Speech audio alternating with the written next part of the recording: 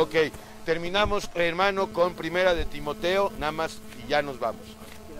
Primera de Timoteo 6. Hermano, ¿estás contento con lo que tienes? Vaya, no económica y materialmente hablando. Aunque también, aunque también, porque hay quien tiene, pero nunca está contento. Oye, pero ¿por qué no estás contento? Ah, pues porque sin Cristo somos insaciables. Nunca estamos contentos. Somos barriles sin fondo, vasijas rotas, todo se nos escurre. Ok, hermano. Ok, entonces piedad y contentamiento, ¿de quién vienen? De Cristo, ok. La piedad es un elemento del amor, hermano. Es un elemento más del amor. No es el único. Primero de Timoteo 6, señor Germán. Si alguno enseña otra cosa, bueno, ¿quién enseña otra cosa? Satanás y la iglesia apóstata, hermano. Y no se conforma a, la, a las sanas palabras, a la sana doctrina que nos revela nuestro Señor Jesucristo y a la doctrina de lo alto que es conforme a la, más que a la piedad, más al amor, ¿verdad? Porque ¿qué es mayor, la piedad o el amor? El amor, hermano, claro que sí. Hermano, porque se corre el peligro de llegar a decir, pues, tengo piedad de usted, oiga. No, hermano, esto es de Dios. Tengo piedad de ti, Rafa. No. Tengo lástima de usted, hermano. No. No, cuidado. Ok. La piedad, no, la piedad es de Dios. La piedad cavada es del diablo. Ok, hermano. La lástima es del diablo. La lástima, tengo lástima de ti. Ok. Ok, hermano. Conforme al amor. Está envanecido. Sabe toda la Biblia. Sabe el sexto sello, el quinto, el cuarto, el tercero, el segundo. Sabe todo. Pero no vive en amor. No está contento nunca. Ok, hermano. Está envanecido.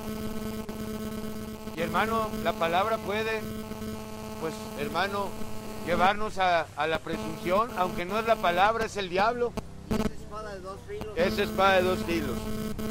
Está envanecido, nada sabe y delira acerca de cuestiones y contiendas de palabras, de las cuales nacen rivalidades, competencias, envidias, pleitos, blasfemias y malas sospechas.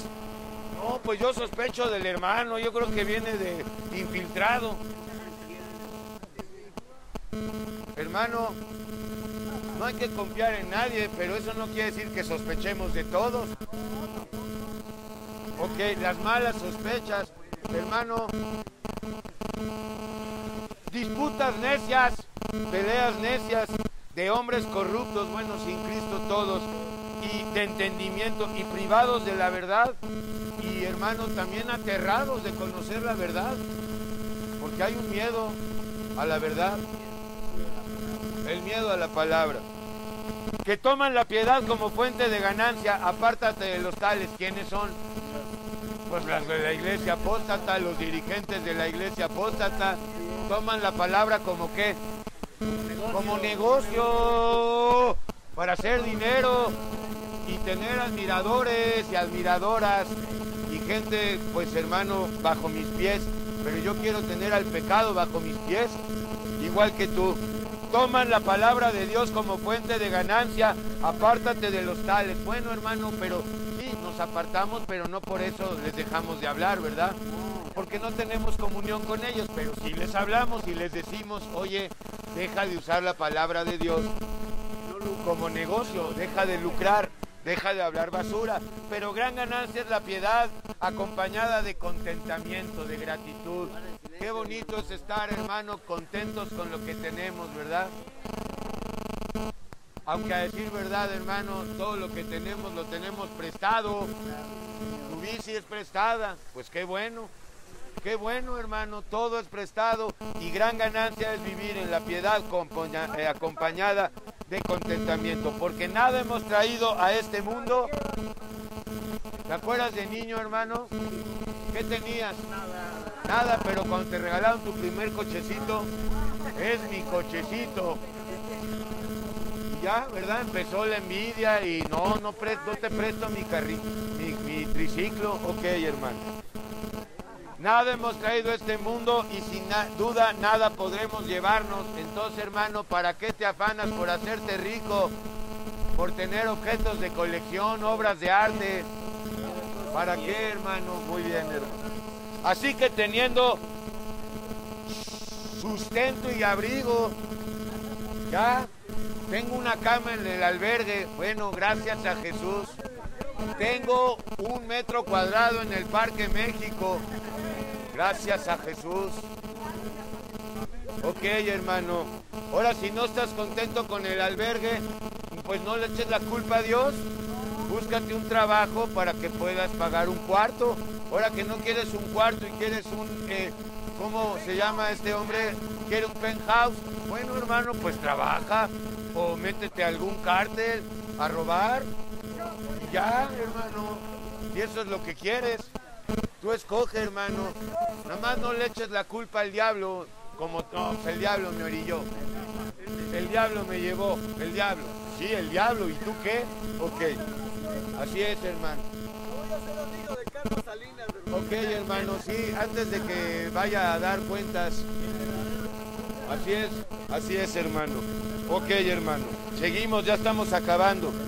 Entonces, así que teniendo sustento y abrigo, estemos contentos, alegres, agradecidos con esto, porque los que quieren enriquecerse caen en tentaciones, lazos, trampas del diablo y en muchas codicias necias y dañosas y dañinas que hunden a los seres humanos en destrucción, enfermedades, de perdición, en perdición. Porque raíz de todos los males es el amor al dinero, al becerro de oro. Ahora hay quien dice, no, yo no amo el dinero, pero amo los coches de carrera, las casas, la buena ropa. Bueno, pues eso es adorar el dinero, porque sin dinero no podrías tener nada de eso. Así es, hermano. Tienen su cuenta de ahorros en el banco. Ya tengo mi cochinito que me va a salvar. Cuando no tenga dinero, rompo mi cochino. El dinero no, hermano, diamantes, lingotes Ok, de oro. hermano, muy bien, hermano, muy bien. El cual codiciando a algunos, hermano, qué benevolencia, dice que codiciando a algunos. Algunos han codiciado el dinero o todos somos unos codiciosos. Se extraviaron de la fe. Pues hermano, a lo mejor el pastor Cash Luna cuando inició era verdaderamente pues un devoto de Dios, pero de repente llegaron los jesuitas y le dijeron, Cash, ahí te van 150 mil dólares y lo pusieron en entredicho, no, pues no puedo, los 150 mil dólares están mejor. Tentaciones, está por eh, embargarme el banco. Ay, hermano, pues ¿para qué vas y le pides al banco? Pídele a Dios. Ok, hermano, pero pide con fe. Ok. Ok, entonces el, el amor al dinero ha extraviado a muchos y aún de la fe y han sido traspasados de muchos dolores, es decir, enfermedades, hermano. Mas tú, oh hombre o mujer de Dios, huye de estas cosas, o sea, de la codicia. ¿De qué más? Del pecado, hermano. Y sigue la justicia, sigue a Yeshua, sigue a la piedad, que es Yeshua, la fe, el amor, la paciencia y la mansedumbre. O sea, vivir en el Espíritu Santo. Pelea la buena batalla, hermano, la de la fe. Con la fe echas fuera, hermano, al enemigo que anda como león rugiente, queriéndote morder y besar con sus besitos. Pero Yeshua también tiene besos y caricias que no cansan ni empalagan. Ahí está en Cantares 1. Pelea la buena batalla de la fe, echa mano de la vida eterna. A muchos se les olvida eso de la vida eterna. Ahí se acuerdan cada dos, tres meses. Ah, sí, de paso hay vida eterna. Yo no puedo vivir si no pienso permanentemente en la vida eterna. Aunque hermanos se ríen de eso, ¿cuál inmortalidad, cuál vida eterna? Pues Yeshua lo prometió. A la cual asimismo fuiste llamado, habiendo hecho la buena profesión de fe, ¿verdad? Delante de muchos testigos, claro, ¿verdad, hermano? No nos lleva a Dios ahí a una eremita o al desierto literalmente a predicar. Ahí a quién le predicamos? A los zorros, hermano, ¿a quién? A los muertos. Los muertos están en el desierto del mundo. Ok, hermano. te mando delante de Dios que da vida a todas las cosas, te quiere dar vida, y de Yeshua el Mesías que dio testimonio de la buena profesión de obediencia y de fe delante de Poncio Pilato el necio, que guardes el mandamiento sin mácula, sin reprensión, sin, hermano, sin polemizar con Dios. No, pues no entiendo este mandamiento, vamos a ponerlo a prueba. Eso déjaselo al Talmud, que cuestiona todo, desde todos los ángulos, y terminaron por desviarse. Bueno, ¿y por qué Dios hizo la tierra en seis días o en siete y no en un día o en una hora? Bueno, ¿y por qué el Señor escogió el mes de... Ok, hermano, que guardes el mandamiento sin mácula, sin ni reprensión, vaya, hermano, porque si guardamos la palabra, pues hermano, debemos guardar la palabra, pero de forma irreprensible, ¿verdad? Viviendo con el Señor, hasta la aparición de nuestro Señor Yeshua o hasta que nos lleve de aquí, la cual a su tiempo mostrará el bienaventurado y solo soberano, Rey de Reyes y Señor de Señores, el único que tiene inmortalidad y te quiere dar inmortalidad, vida eterna, y que habita en luz inaccesible, pero accesible por fe, a quien ninguno de los hombres ha visto ni puede ver, en espíritu no, pero recibiremos ojos capacitados para verle un día. Hoy le vemos con los ojos de la fe. Ok, hermano. Habita en luz inaccesible, ¿dónde? En el tercer cielo, trono de gracia, a quien ninguno de los hombres ha podido ver, al cual sea la honra y el imperio sempiterno. Amén. A los ricos de este siglo, aunque no hay ricos, ¿verdad? Solo en su propia opinión. A los ricos de este mundo, vaya, a los que tienen bienes terrenales, como tú, hermano. ¿No tienes dos, tres chamarritas? Sí. ¿Cuántos pantalones tienes? Doce. pues esas son posesiones. Así es, hermano. Y tienes más, hermano.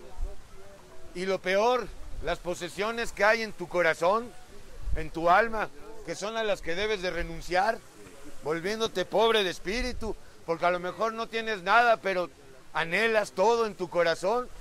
Vaya, en tu alma, en el corazón, pues ya de entrada. A los ricos de este siglo manda que no sean altivos y a los pobres ¿Los pobres sí pueden ser altivos? No. No, entonces la, va para todos. A los ricos de este mundo, hay quien no es rico en dinero, pero es rico en su opinión, ¿verdad? Porque desarrollaron el intelecto y tienen cultura y hablan ocho idiomas. Yo tengo muchas enfermedades. Yo he tenido 150 enfermedades. Ahí está riqueza de orgullo. Es rico en orgullo. Hay ricos en envidia todo el día. Ay, ve los zapatos del hermano, hombre. Vamos. Ven a más el cuerpo del hermano, parece Tarzán. Ok, hermano. A los ricos de este siglo, que no sean altivos, presumidos, orgullosos, hermano, así es. Ni pongan la esperanza en el trabajo, o en las riquezas, o en la familia, o en su iglesia, o en su pastor las cuales son inciertas, sino en el Dios vivo que nos da todas las cosas y en abundancia para que las disfrutemos con acciones de gracias y que hagan bien. Bueno, pero para hacer el bien hay que abstenernos del mal y para abstenernos del mal hay que morir a la carne. Que sean ricos en buenas obras. ¿Cuáles buenas obras? Las de Yeshua, hermano. Dadivosos, hermano, las dádivas vienen de Yeshua, generosos, igual la generosidad de Cristo, atesorando, hermano, haciendo tesoros en el cielo. Para sí, buen fundamento. ¿Quién es el buen fundamento? Para lo porvenir y que echen mano otra vez de la vida eterna. Oh Timoteo, guarda lo que se te ha encomendado, guardar es obedecer, evitando las profanas pláticas, las vanas palabrerías o las vanas conversaciones, como estar hablando todo el día de qué? De fútbol, de religión, de política, de qué más. Así es, hermano, de los artistas, de con quién se casó, hermano, el artista del momento, o con quién anda la novia del famoso. Ok, hermano, de cultura. Así es, hermano, vamos a hablar del Cervantino. Ok, de filosofía, no, porque hay otros que se creen muy cultos, no, si nosotros no hablamos banalidades, estamos hablando de filosofía kantiana, pues eso es todavía peor, hermano. Estamos hablando de Schopenhauer, de cómo veía él las cosas. Hermano, pero no nos damos cuenta que todo es el mundo y el mundo es Así es, ok. Oh Timoteo, guarda lo que se te ha pedido, evitando las profanas pláticas sobre cosas vanas, pues todo es vanidad de vanidades, y los argumentos de la falsamente llamada ciencia. ¿Verdad, hermano? La ciencia, hermano, la ciencia del mundo, hermano, pues es buena, hermano, hasta cierto punto, ¿verdad? Pero totalmente ineficaz en términos de salvación o en términos de liberación. Jamás la ciencia te va a librar del pecado, ni te va a dar libertad de culpas, ni nada por el estilo. Pero bueno, hermano, pues la ciencia también Dios la ha dado. No, quiero tu mano, ya el agua no quiero. bueno, Padre, gracias. Gracias porque pues bendito sea tu nombre, Yeshua, que has dado y que das, Señor, eh, pues palabras de vida eterna, das consolación verdadera. Gracias, amado Padre, porque ya no tenemos por qué ir a buscar consuelos humanos, consuelo humano, Señor, consoladores humanos, Señor, que pues a fin de cuentas no consuelan, Señor, sino todo lo contrario, Señor. Gracias porque tú veniste a revelarnos, Señor, la verdad, Señor. Y la verdad eres tú, Señor. No es un concepto filosófico, Señor, ni un número matemático, Señor, ni, pues, Señor, un postulado, ni una tesis, ni una antítesis, ni una síntesis. Eres tú, Yeshua, la verdad, el camino y la vida. Y damos gracias, Señor, por habernos, Señor, redimido, Señor. Yeshua Donai, sabemos que, pues, nos quedan unos días de vida en este mundo, Señor.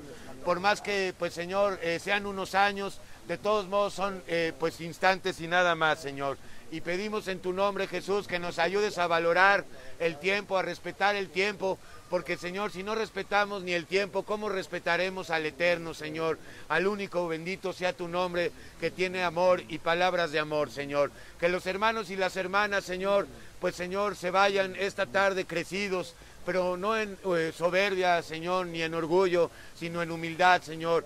Que pues Señor, lleguen a tener ese encuentro contigo, que es fundamental, un encuentro personal como el que tuviera Samuel, hijo de Ana, Señor, el cual había oído de ti, Señor, desde niño, porque, Señor, su madre Ana lo había dejado con el sacerdote Elí en el templo, Señor. Sin embargo, no fue hasta sino que fue un joven, Señor, un adolescente que tuvo ese encuentro contigo, Señor. Y tenemos todos que tener un encuentro individual contigo, Señor, no físico, sino espiritual, Señor.